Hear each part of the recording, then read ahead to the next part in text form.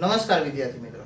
સ્વાગત છે આપણું આપણી YouTube channel my dear student પિચિગ્નેસ sir આપણે આના અગાઉના લેક્ચરની અંદર ખૂબ જ સરસ રીતે સતત આવૃત્તિ વિતરણની અંદર ચતુર્થકો, દશાંશકો અને શતાંશકોના સૂત્રનો અભ્યાસ કર્યો.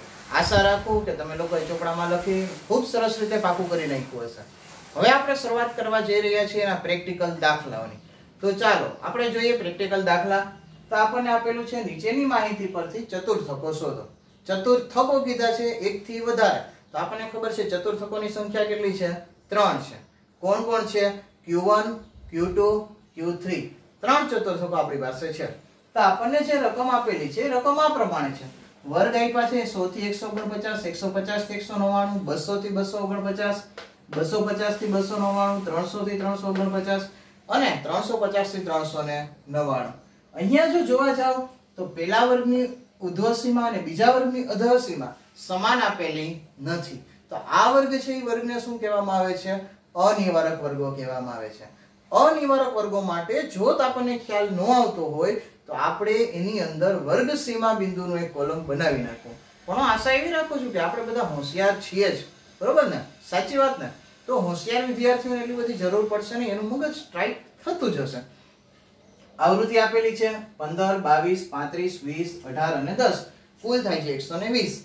સૌ આપણે જ્યારે ચતુર્થક શોધતા હોય, ત્યારે પહેલું જ કામકાજ આવે છે એની સંચય આવૃત્તિ શોધવાની, એટલે કે સીએફ. પંદર ના પંદર પંદર ને બાવીસ, સાડત્રીસ સાડત્રીસ ને પાંત્રીસ, બોતેર બોતેર ને વીસ, બાણું બાણું ને અઢાર, એકસો દસ એકસો દસ ને દસ, એકસો ને વીસ. એટલે કે આ બે રકમ જે છે હંમેશા કેવી આવતી હોય? સમાન આવતી હોય. સૌ પ્રથમ ચતુર્થકો શોધવાના છે. પેલું ચતુર્થક એટલે કે Q1 તો Q1 માટેનું સૂત્ર છે Q1 બરાબર L n ના છેદમાં 4 માઇનસ CF ના છેદમાં F ગુણ્યા C.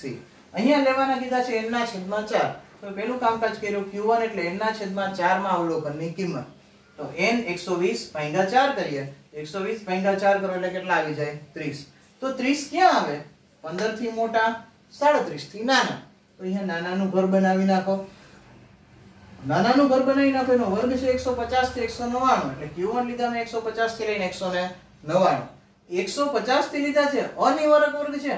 માટે L તરીકે હું 150 ન લઈ શકું, પરંતુ અધર સીમા બિંદુ એટલે કેટલા લઈ શકું? 149.5 માટે L ની જગ્યાએ મેં લીધા 149.5 એ જ વર્ગની આવૃત્તિ એટલે કે F કેટલા છે? 22 ઉપરની સંચય આવૃત્તિ CF કેટલી છે? 15 તો અહીં લખી નાખો. કે n બાય 2 માં 30 CF ની અંદર 15 છેદમાં 22 અને વર્ગ લંબાઈ કેટલી છે? 50 જો ખબર ન પડે તો શું કરવું? ઊભી બાદબાકી કરવી 150 માંથી 100 જાય તો 50 200 માંથી 150 જાય તો 50 પણ કેલ્ક્યુલેટરમાં ન કરવું. 199 એકસો 150 તો જવાબ 49 આવશે અને દાખલાનો જવાબ ખોટો આવશે. તો એ વસ્તુમાં આપણે ખાસ ધ્યાન રાખવું.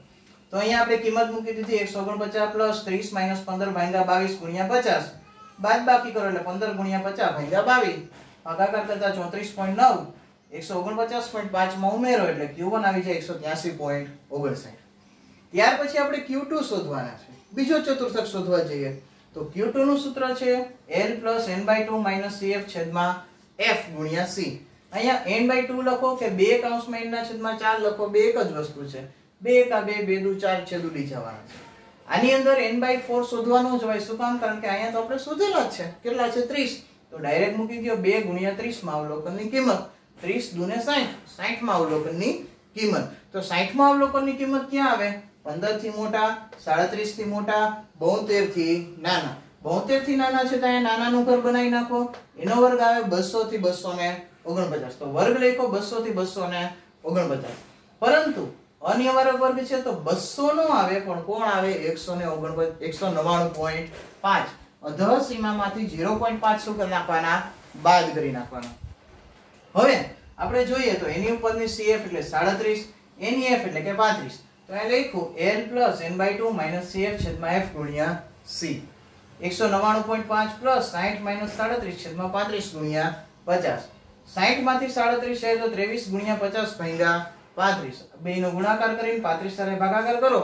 એટલે જવાબ આવી જાય 32.86 199.5 માં 32.86 ઉમેરો અને તમારો જવાબ આવી જાય 232.36 તો આશા રાખું કે આ બે દાખલા તમને સરસ રીતે સમજાણા હશે. યાદ કરો, હજી કંઈક બાકી છે. ક્યુ વન સોયતા, ક્યુ ટુ સોયતા, ક્યુ થ્રી બાકી છે. તો જે ક્યુ થ્રી બાકી છે ને, એ તમારા લોકોએ હાથે ગણવાનું છે કે જેના કારણે મને ખબર પડે કે આ હું સમજાવું છું તમને સમજાય છે કે નથી સમજાતું. અને જે જવાબ આવે તમારે મને કોમેન્ટ બોક્સમાં લખીને મોકલવાનો છે. આ જે વીડિયો છે એના કોમેન્ટ બોક્સમાં તમારે મને જવાબ લખીને મોકલવાનો છે કે ક્યુ થ્રીનો જવાબ આ પ્રમાણે આવે છે. ધન્યવાદ.